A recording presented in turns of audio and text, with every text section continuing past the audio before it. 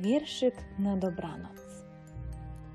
Po dniu długim, pełnym wrażeń, noc się zbliża. Pora sennych marzeń. Dobranocki czas już minął. Kotek w kłębek się zawinął, ptaszek w gniazdku się układa, piesek ziewnął, w sen zapada. I mróweczki, i pisklęta przymykają swe oczęta.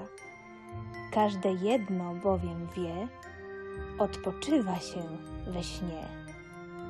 I ciałku, i główce drzemka bardzo miła, bo na pracę i zabawę potrzebna jest siła.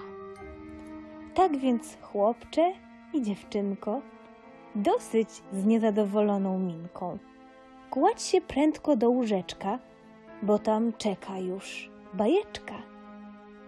Gdy senność zabierze cię w swe włości, ciało nabierze dziwnej lekkości.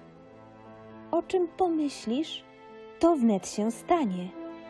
Kto chcesz, przybędzie na twe wezwanie. Niezwykłe przygody na ciebie czekają.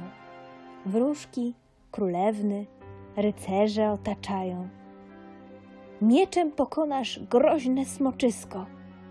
We śnie możliwe jest dosłownie wszystko. Więc kiedy usłyszysz mamy wołanie, chodź do łóżeczka, już czas na spanie.